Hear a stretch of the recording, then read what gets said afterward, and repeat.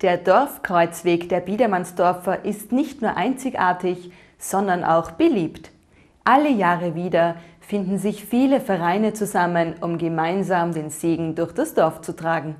Seht das Zeichen, seht das Kreuz, es bedeutet Leben. Liebe vermag alles. Viele Menschen suchen nach einfachen Antworten in unserem modernen, vielfältigen Leben. Jesu Antwort ist total einfach, aber nicht leicht. Dies war die Kernaussage des heutigen Dorfkreuzweges in Biedermannsdorf. Er ist eine liebgewordene Tradition, bei der viele Menschen mitmachen.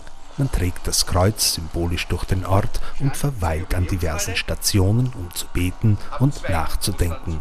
Startpunkt war wie immer die Volksschule. Bei der Volksschule geht's los, genau. Geht dann praktisch über den, den Dorfweg. Dort gibt es die schöne Kapelle mit der Pietà. Äh, hinüber zur K&K-Kapelle und dann wieder zurück zur Gemeinde, zum Missionskreuz und dann in die Pfarre. Ein schönes Brauchtum, wie ich vor zehn Jahren hergekommen bin, habe ich das vorgefunden. Es ist mein elftes Mal, dass wir den gehen. Einmal mussten wir in der Kirche bleiben, weil Schlechtwetter war. Ursprünglich eine Initiative von der Dorferneuerung. Und dann hat aber das die Pfarre sehr stark selber begonnen zu gestalten und zu machen.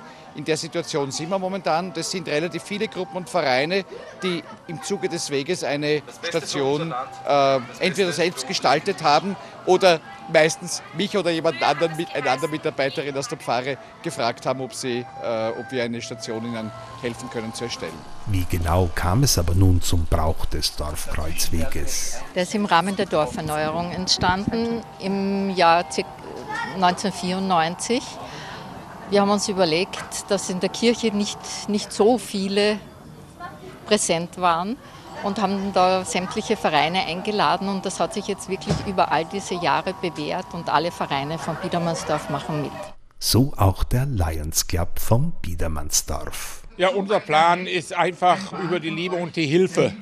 Es geht vor allen Dingen um die Hilfsbereitschaft jetzt auch mit und dass wir da unsere Station mitgestalten mehr das Bewusstsein für die Hilfsbereitschaft. Ja, genau. Das ist ja mit auch eine unserer Hauptaufgaben, dass wir also sehen, wer Hilfe braucht, dass, dass man damit hilft. Und von daher passt das ganz gut zu uns. Und auch Bürgermeisterin Beatrix Dalosch geht jedes Jahr mit. Ja, natürlich. Ich gehe jedes Jahr mit und auch sämtliche Vereine machen mit, wie wir gesehen haben, auch die Volksschule, die Pfadfinder, jetzt kommen dann die Bauern, die Feuerwehr, die Spätlese von der Pfarre, wie auch der Gemeinderat. Also wir sind alle mit dabei.